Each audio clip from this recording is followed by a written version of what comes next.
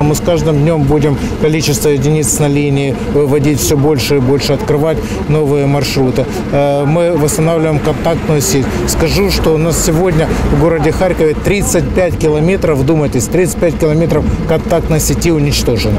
Поэтому мы сегодня делаем, э, круглосуточно будут работать для того, чтобы восстанавливать новые новые маршруты. Я очень хочу, чтобы э, харьковчане начинали работать. Я очень хочу, чтобы перезапускалась экономика города Харькова, как в целом перезапускалась экономика Украины. И для этого, э, конечно, прежде всего нужна и транспортная логистика. Эта логистика позволит нам охватить практически все микрорайоны города Харькова, включая и те, которые будут построены заново.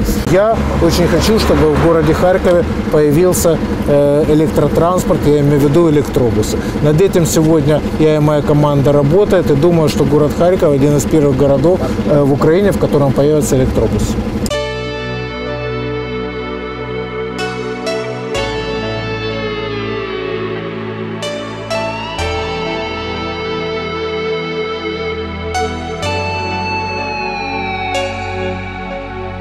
Будут э, работать маршруты троллейбусом, автобус.